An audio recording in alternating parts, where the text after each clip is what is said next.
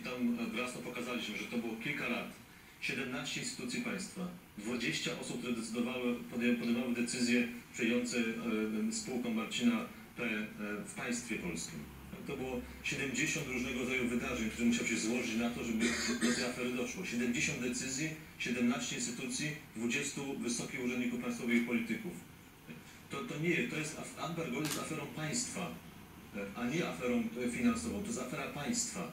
Dlatego, że nie jest możliwe, żeby 17 instytucji, 20 wysokich urzędników państwowych i polityków i 70 decyzji akurat tak się składały w domino, że zawsze za każdym razem Marcin P. był ich beneficjentem.